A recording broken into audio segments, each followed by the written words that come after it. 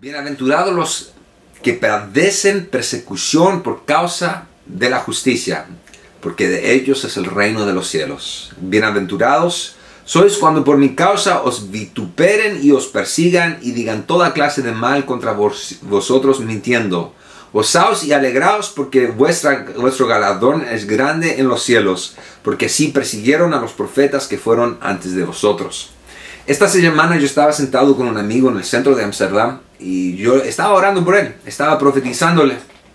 Y yo tenía su teléfono y simplemente yo estaba declarando la palabra de Dios sobre él cuando de repente alguien me tiró un vaso lleno de Pepsi Cola y me lo tiró y me pegó en, las piernas y después miré y el tipo que yo toda no, no sé quién es o, por qué me lo hizo, pero me, me, escupió y se fue. Y bueno, primero que nada pensé, ¿qué es esto? Y segundo pensé, ay, qué rico.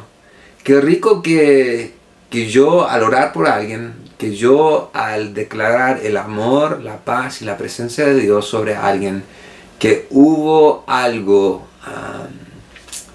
que afectó a alguien. La gente a, toda la gente no le agrada eh, la oración o, el declarar el amor y la paz y la presencia de Dios sobre otra gente. En inglés siempre digo hurt people, hurt people. La gente que son heridas hieren a otros. Y estamos en un mundo lleno de heridas. Y por eso la gente nos van a perseguir. La gente nos van a maltratar. Pero también me gusta decir en inglés, heal people, heal people. Los que están sanados sanan a otros. Y ese es mi deseo. Dios me ha sanado a mí, me ha tocado.